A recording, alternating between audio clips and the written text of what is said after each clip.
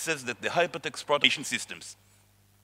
So it's kind of good for us because it says that we're right, right? It's just kind of a, an API and that does precisely what we tell you, uh, the hypermedia guys tell you to do. Um, but it's not really what currently we're doing. I mean, most people do not do uh, hypermedia information systems.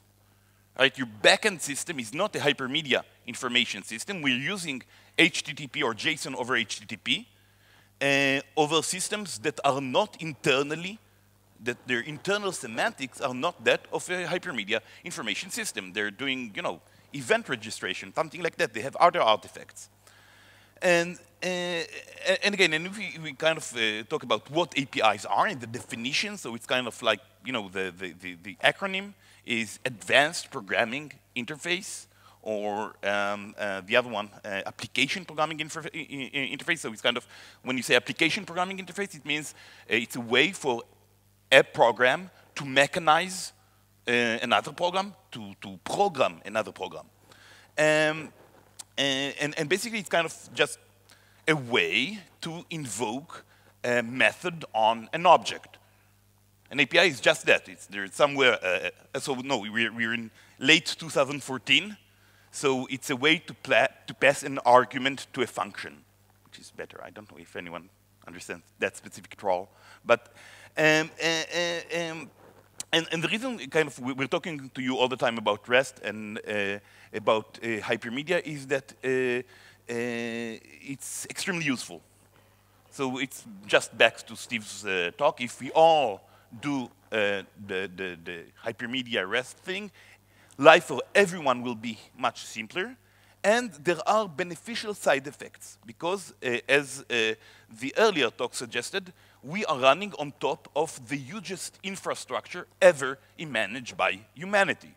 So there are more things in, in, in the web sphere than anywhere else. So we have uh, uh, billions of lines of code just to do that, probably billions of lines of code. That, and, and it, so uh, a, a, lot of those are the same ones. So a lot of us use the same code, just duplicated many times. So we have Nginx and we have Google Web Server and a lot of uh, other technologies that, that really scale extremely well and which makes it a very good idea to be using uh, and so it's a good thing. But, uh, there's always a but, everything has semantics. And, and this has kind of already emerged um, uh, in, in, the two previous talks, right? That uh, one saying, okay, we need more semantics, right? We don't have even, we, everything has semantics, but we need much more of these semantics. We need to understand better data is, what stuff does, in order for it to be uh, automated. And uh, in Steve's talk, it was kind of, okay, these are the semantics I like. I want to put uh, uh the, the correct, simple semantics, and that will allow me to uh, efficiently interconnect two systems two specific systems, kind of Ember and Rails, although the, the, each of them will be probably something that is bespoke. Uh, and I want this to be as general, uh, as, general as possible. Um, and, and, what I uh, posit is that uh, kind of the, the, uh, the intermediate, uh, in intermediary semantics have a cost. and, and it's kind of, um, we guys kind of yell at you guys all the time. And, and, and we're saying you shouldn't use post for that. And how, and, and kind of, um, how many uh, of, of you guys, uh, the, the really clean, good ones, the believers, how many of you return a 203 non-authoritative uh, answer response from your proxy servers? Uh, not, not often, uh, although anything else would be a lie. The proxy does not know. It's well, I can't, I can't really give you an answer because basically I, I, I, have an SLA and I will always respond to you in 300 milliseconds, and I don't even know if the backend will time out or not. It may respond later with a different response, and I did about response. And again, this is a good thing, right? I mean, I mean the, the fact that we have uh, such extreme scalable semantics for caching over HTTP means we can scale this whole thing, and we have millions and billions of people using it. It's a good thing. It's not always a good thing. So th there, are, there will be use cases in which uh, uh, the thing is not a good thing. So basically, uh, as said before, APIs are kind of bridges between two systems, and, uh, and we're using kind of, as a middleware, JSON over HTTP. And we're inheriting the, uh, the semantics uh, of JSON over HTTP in this translation, in this bridge. Uh, so uh, kind of, uh, uh, basically the, the, the, the thing that happens every time is that we'll have an app one, a middleware, which will be the API, the transport layer and the protocol layer together, and, uh, and the serialization, of course. And, and so we have kind of a worldview one, the way a system understands the world, its ontology, its semantics, its concepts, a way for it to translate that into uh, intermediary form, like JSON API. Then it goes away to the other side, it gets unserialized, it gets read by the other system, and it gets translated, so the client uh, ne can never be Uh, uh, totally automatic and automatic because if it can do the basic, you know, mechanics of okay, I can, you know, kind of go over the response, and this is a link, and I can get the comments now for my blog post, and, and this doesn't require more code. Understanding what is uh, a comment and how it's represented in the other system is something that will require either code or, or, or more magic. Um, so I, will do a trick. You, you, know the trick, you know, it's kind of fun when you take a text and you put it in Google Translate, and then you translate it in language, and then you translate it back to the same language. And it used to be kind of, whoa, and now it kind of works. Uh, and so I'll, I'll, translate the text that was two slides before. So this goes uh, from English to Yiddish to English. Um, as the request. Um, so, uh, and so, tac, tac, so reading would be worldview one. Worldview one is represented as JSON over HTTP. Worldview one is represented in worldview two. This is the phrase. And when we see that, well, it kind of works quite well, right? So worldview one, worldview one as represented as JSON over HTTP, worldview one as that kind of really work. And it just changes a bit here reading would be, and then and writing would be. And it, it's kind of Yiddish is very uh, um, good language. Um, so uh, I'll, I'll, I'll do the same trick now with Hebrew. So you don't see here, right? I didn't show you the Yiddish or Hebrew representation because when you're using an API, you never see basically the, the intermediate representation. Its semantics are something that uh, uh, you consider to be, to be transparent. Uh, and in Hebrew, this will be, reading will be view in one, world view one, as represented as JSON over HTTP, and will wrote. Okay, we're kind of fucked. So, uh, um, uh, so basically what happened here is that we've seen the semantic difference between two uh, Indo-European languages. Yiddish is a Indo-European language. Its serialization format, by the way, is the same as Hebrew. So you use the same character set, uh, so it's not a problem of the serialization format. It's really, well, that uh, it's been trained, uh, so I'm, this is totally false. So basically, uh, the only reason for which this happens like that is that there's less Yiddish text that has translations and stuff, so the, you know, the machine learning algorithm didn't have time to train. But it makes my point, so who cares? Um, so let's say that it's because that there is a larger semantic difference, and there is, between two Indo-European languages and an Indo-European language and a Semitic one. So uh, uh, uh, one of the things that semantics deal with, going back to, uh, is, and, and, it's weird because it's kind of the ontological question, right? The ontology thing of what is. Semantics is what a thing means, and ontology is what a thing is, what is isness, uh, on, ontos in, in, in Greek.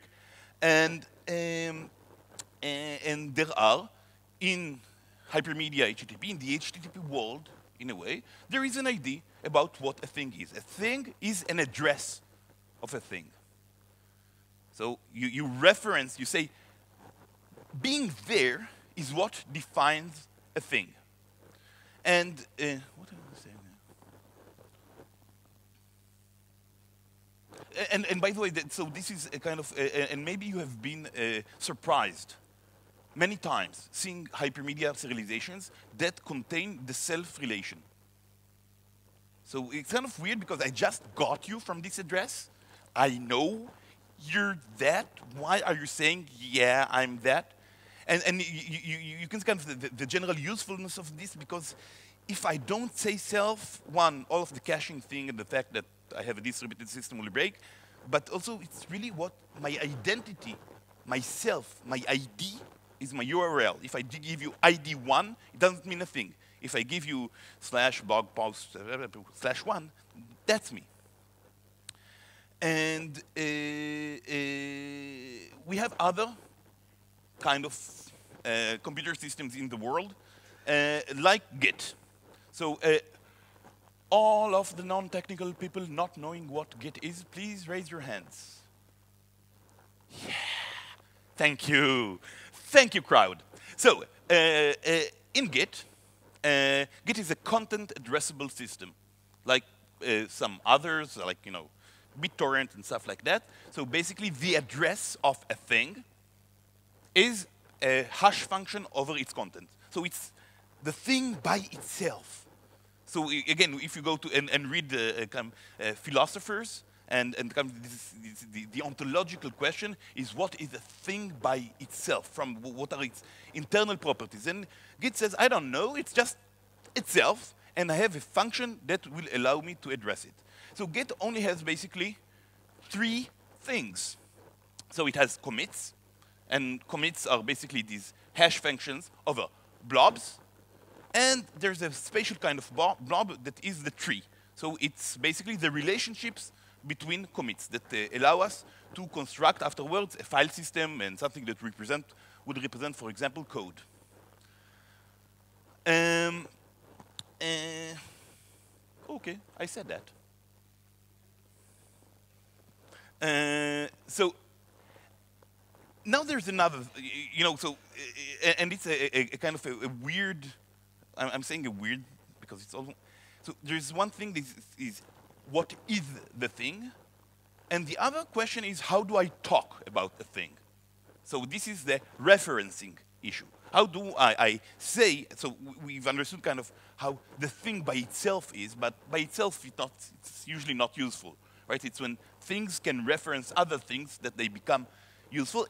In, in HTTP, it's basically kind of, we've said it's a function call, so it, it's very close to what a promise would be. So it's a function call that is cached locally and will be called later. And in HTTP, we never know what precisely the response would be. Not only uh, it may change over time, it's a good thing it changes over time. So when I get uh, slash post slash one in a web page, I will get it with the most recent comments. This will change over time, and we consider it to be a good thing. So we, it's still a thing, but it's a thing that changes over time. Only for some APIs, uh, uh, that thing is not a good thing. So again, I'm not saying that uh, in most cases this is a problem. In most cases, this is not a bug. This is a feature. The fact that uh, things change over time. But in some systems, that would be a very, very bad thing. So the thing we're building is a PaaS. And a PaaS is, uh, um, well, something, platform as a service, you know, where you can deploy code and it runs. Yay, that's cool. And um, um, uh, uh, it's kind of the ultimate meta software, right? Because it's a program that is supposed to be able to run any other program, or it's not a PaaS. And the problem is that in order for a program to be able to run any other program, stuff needs to be predictable. Anyway, these days, until we have some other cool technologies. But for the moment, you know, uh, I don't know, you, when you commit your, your thing to a code repository, usually you do and you should, when it goes into production, commit the lock file, the thing that describes its dependencies, because you don't want it to change over time. You want to be able to deploy precisely the same thing. And even that lock file doesn't defend you. Everybody needs to behave. All package managers need to behave quite nicely. And they never need, you know, kind of, never have any problems and never uh, be down. The servers running them should never be down in order to be able to be sure you are doing totally repeatable deploys. And yet software is change, right? We're, uh, uh, so, so, there's the, the, this uh, uh, basic uh, tension between the idea that I want to have stuff that never changes and is always totally the same. So something that, like a content addressable system that addresses the, the thing I'm going to deploy by its byte level content is a good thing. And yet I want to be able to manage change over time, just not in the way HTTP semantics would push me to do that. So it's, you might get the latest version now if not cached and the E tag and the vary headers and nobody knows. Um, so uh, uh, this is why when kind of when thinking what would be the basic API of my PaaS system, I would say uh, uh, we want something that has more like Git semantics. So that has extremely precise semantics for change and that has a lot of state. Not having state here would be a very, very bad thing. Because when I want to deploy several hundred servers with a specific change, uh, the statelessness of HTTP might not be fun. If I need to revert mid-change this whole thing, uh, I would probably need to, to do some very, very complicated, not nice stuff to get it done. Um, uh, so uh, basically, uh, uh, kind of what we do in, our PaaS is something cool. So you have a Git repository that will represent your running cluster. You would say git checkout minus b, my new cool feature, git push origin, new cool feature. And what would happen is not uh, I put code on a server. This is not the semantics, right? The, the semantics of this uh, minus b thing, create a new branch, uh, is clone, right, the code base. And I'm using the same semantics to say clone my infrastructure. Um, so I'm, I'm saying, uh, uh, uh, uh, so basically what would happen when you've pushed to master, you will have an identical production cluster running. So I, I, can clone a running production. And so this is not precisely what you would expect, right? This is not what you, Git usually does. This is a new feature that has nothing to do basically with Git. This is about server deployment. And I'm just re reusing Git as a protocol. And it's precisely the same way when uh, you kind of imagine an HTTP application. So basically, all of our hypermedia stuff with the post and put and delete was done for WebDAV, right? For a specific application that just puts real static files on a server. This is where all of our uh, semantics come from, manipulating files on a remote server. But we're not expecting that, right? When we do a, a, a put, we're expecting an application, a program, to take this and translate these semantics and say, I understand put in the same general sense as replacing a thing that was there. But then there will be extremely complex code that will be other shit, that will be other stuff with that. And uh, uh, so um, uh, uh what, what, I'm trying to, to co communicate is that Git, like HTTP, like many other protocols and serializations things, can be used as a, a, an API level protocol. We can use it to mechanize other uh, programs, and sometimes with simpler, better semantics. So just so you would be clear, when I do my git checkout B and, and, and all of that, when I'm cloning an infrastructure, I am not dumping databases to the file system, committing them into Git, that would be madness. That would be bad. What I'm doing is running software that is capable of doing that. I'm just reusing Git as a protocol. I'm just reusing, reusing its semantics like we do with HTTP. Uh, so that's what I said. Um, uh, but as you would imagine, uh, if you'd like kind of to develop now against that thing your web UI, this would be basically possible because, as you might know, uh, Git also talks, it has the dumb protocol, which works over HTTP and which, which is like a bit hypermedia by itself. So there is a well-known URL. You go to info slash refs, and then you get kind of list of references, and then you can just go and fetch them one by one. You will have to implement a lot of client-side logic, and you will not have access basically to all of the higher level abstractions you might have uh, in Git. So uh, evidently, uh, uh, you'd like, once you've done something like that and use the better protocol, to wrap it in something that will be extremely useful and like to build a web UI. So um, uh, uh evidently, on top of uh, these, okay, you can't see anything here. It's, oh, always a problem with reveal. Um, so evidently, we, we kind of on top of these semantics, the only real server, the only real API is Git. You cannot mechanize the system by anything else.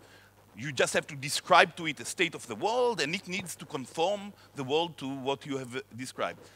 But once you've done that, there is no problem of putting a proxy on top of it that will translate now these Git semantics to this other world and try to do something extremely useful. And in our case, you can, oh, can I? Oh, no. Hmm, yeah. Okay, so, uh, uh, uh and, uh, so I'll just, uh, so, so, basically, this will be about kind of bridging the, the, impedance mismatch between the semantics world. And one of the things that often enough people have problem with doing in, in hypermedia REST is doing long-running transactions. So transactions are already a, a complicated thing. And doing long-running transactions are really, really complicated because we have to deal with timeouts that will be uh, in the middle. So if you're running on, for, for example, on Amazon, you will not get any transaction running for more than 60 seconds over HTTP because ELB, uh, Elastic Load Balancer, drops. We don't know why. Drops connections after 60 seconds. And uh, uh, so here kind of the semantics would be, OK, if I'm telling you uh, to do something, I will return to you an activity stream, kind of a stream of activities around that, that you will be able at the same time to consume with server-sent events or something like that, really HTTP, so you can forward it to your web page. Okay, I'm, uh, I'll just do an extremely short demo. Uh -huh. Oh, please. Where's the, okay, the thing with the thing is that the thing doesn't work. Uh, oh, oh, here's the thing. Sorry. So I'll, I'll, I'll just do a single commit. Oh, sorry, suffering. So, uh, uh, uh, I cannot see anything.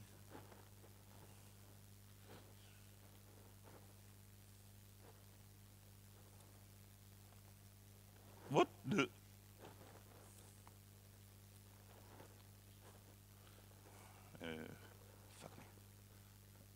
Uh, oh my God.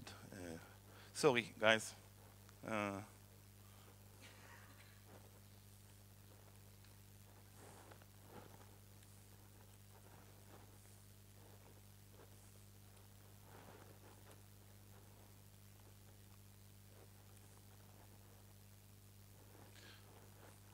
and uh, this, this should be the, the, kind of the fun part, is that uh, uh, you're getting precisely the same thing in a web page uh, and, in, and, in your command line. And this is just Git, right? This is, I, I'm not using any specific client. This is a magic client that does my new semantics that allows me to, to mechanize an application it was not supposed to.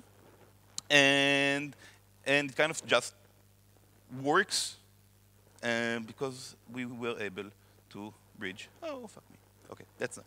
And so you could uh, basically see it blurred now, but. Uh,